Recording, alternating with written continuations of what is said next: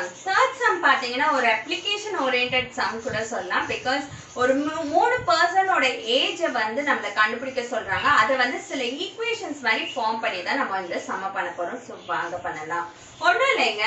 மூணு ஏஜ் மூணு பேரோட age which means Vani's age வாணியோட father age and வாணியோட கிராண்ட் ஃபாதர் ஏஜ் இந்த மூணு பேர் ஏஜை வச்சு தான் இந்த ஃபுல் சம் போகுது. ஸோ இந்த மூணு பேர் ஏஜ் நம்மளுக்கும் தெரியாதனால எக்ஸ் ஒய் ஜெட் அப்படின்னு வச்சிருக்கோம்.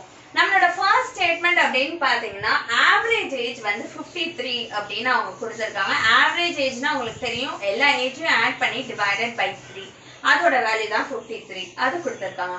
செகண்ட் ஸ்டேட்மெண்ட் நம்மளுக்கு என்ன கொடுத்துருக்காங்கன்னா the grandfather's age by two which means half of the grandfather's age and one third father's age and one fourth Vani age. Vani's age இந்த மூணுத்தோட சம் அப்படின்னு பார்க்கும்போது சிக்ஸ்டி ஃபைவ் வருது அப்படின்னு அவங்க கொடுத்துருக்காங்க. லாஸ்ட் ஸ்டேட்மெண்ட் என்னன்னா ஃபோர் இயர்ஸ் அகோ அதாவது நாலு வருஷத்துக்கு முன்னாடி கிராண்ட் ஃபாதர் ஏஜ் இப்போ வந்து ஜெட் அப்படின்னா four years ago Z minus four அதே தான் வானிஸ் ஏஜ் இப்போ எக்ஸ்னா four years ago X minus four அப்படின்னு வரும் இல்லையா? So grandfather's age is four times Vani's age அப்படின்னு சொல்கிறாங்க ஸோ இதுதான் நம்மளுக்கு கொடுத்துருக்க ஸ்டேட்மெண்ட் ஸோ இதை வச்சு நம்ம என்ன பண்ண போறோம்? சால்வ் பண்ணி எக்ஸ் ஒய் ஜெட் என்ன அப்படின்றது கண்டுபிடிக்கணும் which means Vani Sage வாணியோட father's age and grandfather's age என்னன்னு கண்டுபிடிக்க போறோம். ஸோ வாங்க பண்ணுவோம். ஃபர்ஸ்ட் பிஃபோர் சால்விங் ஃபர்ஸ்ட் ஒரு ஈக்குவேஷன் டைப் நம்ம கொண்டு வருவோம் ஃபர்ஸ்ட் ஓகேவா ஸோ எக்ஸ் பிளஸ் இங்கே இந்த ஃபர்ஸ்ட் ஈக்குவேஷன் நான் சால்வ் பண்ணேன்னா த்ரீயை கிராஸ் மல்டிப்ளை பண்ணாலே போதும். So X plus Y plus Z அப்படின்னு சொல்லும் போது fifty three into three one fifty nine அப்படின்னு வரும். கரெக்டா so X plus Y plus Z is one fifty nine இது என்னோட ஈக்குவேஷன் ஒன்னாக இருக்கட்டும். அடுத்து பார்த்தீங்கன்னா இதை வந்து நான் எல்சிஎம் எடுத்தால் தான் சால்வ் பண்ண முடியும் நிச்சயமா. இல்லையா? ஸோ எல்சிஎம் எடுத்தா டுவெல்லுன்னு தானே எல்சிஎம் வருது.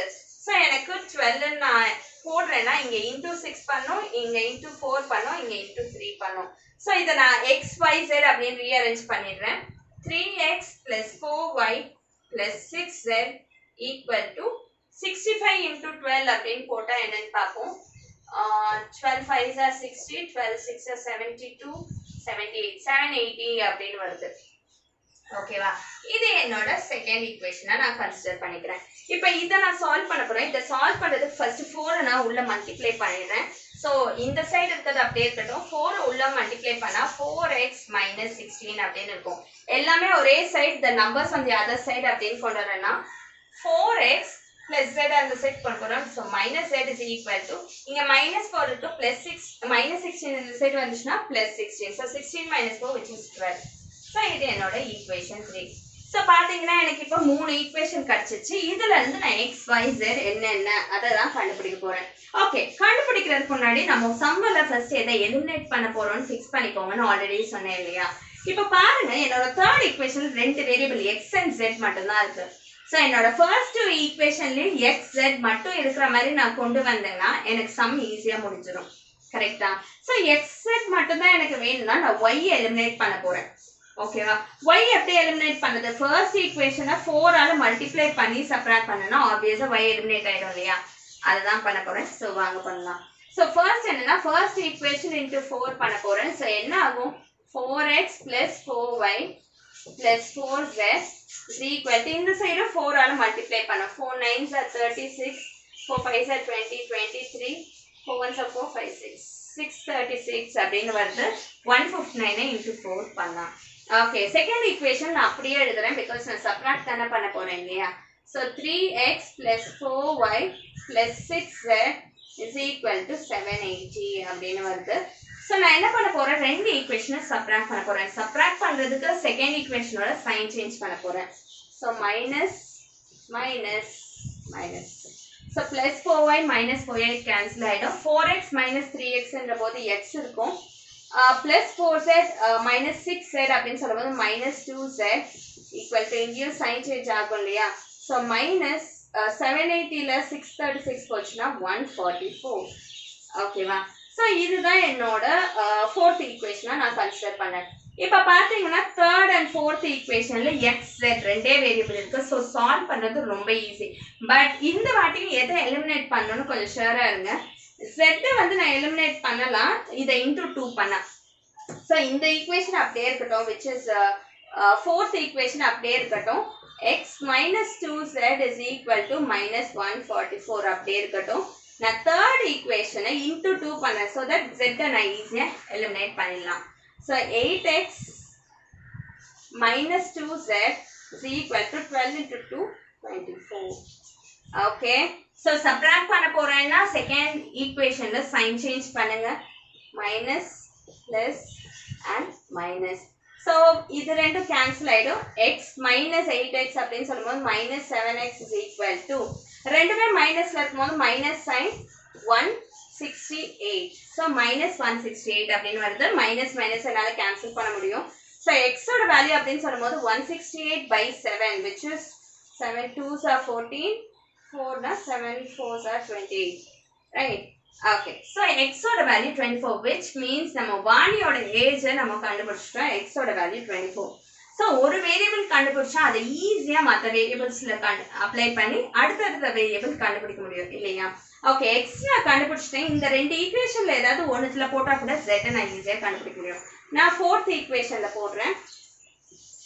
ஃபோர்த் ஈக்குவேஷன்ல பாத்தீங்கன்னா x minus 2z so 24 minus 2z is equal to minus 144 அப்படின்னு சொல்றாங்க.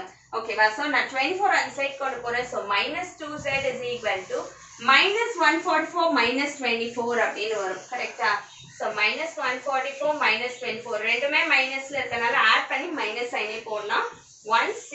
எயிட் எது? Minus two Z minus minus cancel பண்ணுங்க. ஸோ ஜெடோட வேல்யூ வந்து one sixty eight divided by two என்ன வரும்? எயிட்டி ஃபோர் ஸோ ஜெட்டோட வேல்யூ எயிட்டி ஃபோர் இந்த சென்ஸ் நம்ம கிராண்ட் ஃபாதரோட ஏஜ் அப்படின்னு சொல்லும்போது எயிட்டி ஃபோர் இப்போ நம்ம லெஃப்ட் அவுட்டாக இருக்கிறது பார்த்தீங்கன்னா நம்ம father's age which is y நான் என்ன பண்ண போறேன்? ஃபர்ஸ்ட் ஈக்குவேஷன்ல எக்ஸ் அண்ட் ஜெட் எனக்கு தெரியும். ஸோ சப்ஸ்டியூட் பண்ணி ஒய் வேல்யூ கண்டுபிடிக்க போறேன். So what am I going to do? First equation ல x plus y plus z இல்லையா x வந்து நான் ஆல்ரெடி கண்டுபிடிச்சிட்டேன் 24 plus y எனக்கு தெரியாது plus z அப்படின்னு சொல்லும்போது 84 equal to அவங்களோட age 159 so sum of their ages is 159 so இது ரெண்டுத்தையும் ஆட் பண்ணா y plus uh, 108 is equal to 159 y is equal to 159 minus 108 so subtract பண்ணீங்கன்னா நம்ம y வேல்யூ தெரிஞ்சிடும். One five fifty one so இந்த சம்ம பொறுத்த வரைக்கும் அப்போ Vani's age twenty four grandfather's age அப்படின்னு சொல்லும்போது eighty four and father's age அப்படின்னு சொல்லும்போது ஃபிஃப்டி ஒன் ஸோ லாஸ்ட்டாக கன்க்ளூட் பண்ணலாம். வாணிஸ் ஏஜ் அப்படின்னு சொல்லும்போது டுவெண்ட்டி ஃபோர் ஃபாதர்ஸ் ஏஜ் அப்படின்னு சொல்லும்போது நம்ம ஒய்யோட வேல்யூ கரெக்டா ஸோ ஃபாதர்ஸ் ஏஜ் அப்படின்னு சொல்லும்போது ஃபிஃப்டி ஒன் கிராண்ட்ஃபாதர்ஸ் ஏஜ் அப்படின்னு சொல்லும் போது ஸோ கிராண்ட்ஃபாதர்ஸ் ஏஜ் அப்படின்னு சொல்லும்போது எயிட்டி ஃபோர் ஸோ இதுதான் நம்மளோட ஃபைனல் ஆன்சர் ஸோ கொடுத்துருக்க சம்ம வந்து நம்ம ஸ்டேட்மெண்ட் டைப்பில் கொடுத்துருந்தாலும் அதை எக்ஸ்பிரஷன் ஃபார்மேட்டில் மாற்றும் போது இதை மாதிரி ஃபார்ம் பண்ணும். அந்த எக்ஸ்பிரஷனை யூஸ்வலாக நம்ம சால்வ் பண்ணுவோம் இல்லையா? எக்ஸ் ஒய் ஜெட் கண்டுபிடிக்கிறதுக்கு. அந்த மாதிரி சால்வ் பண்ணும்போது இந்த சம் ரொம்ப ஈஸியாகவே முடிஞ்சிருச்சு.